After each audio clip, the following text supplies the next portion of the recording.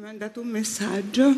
Tu a lui? Sì, gli ho scritto un messaggio anche perché nella partecipazione di questa mia amica c'era il- la frase del piccolo principe, no? della rosa, che è più bella perché la sai coltivare ed è- rimane la più bella.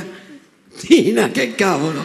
Vai da un otorino! Maria, ma non si è capito niente, la rosa Non è più bella. riesco, non riesco diversamente. Non, No, no, ma è lei che non, so capisce. So- avvicinati, Tina, non è che No, posso ma non c'è da queste parti Olga Fernandez, magari che fa, ci, ci fa la traduzione di quello E che dice. scrivi.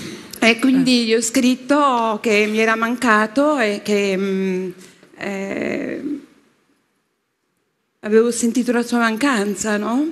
Eh, cosa che probabilmente non gli avevo espresso e non gli avevo saputo esprimere ehm, al punto tale che l'avevo portato, insomma, che in- eravamo arrivati poi a quella, era arrivato poi a quella decisione.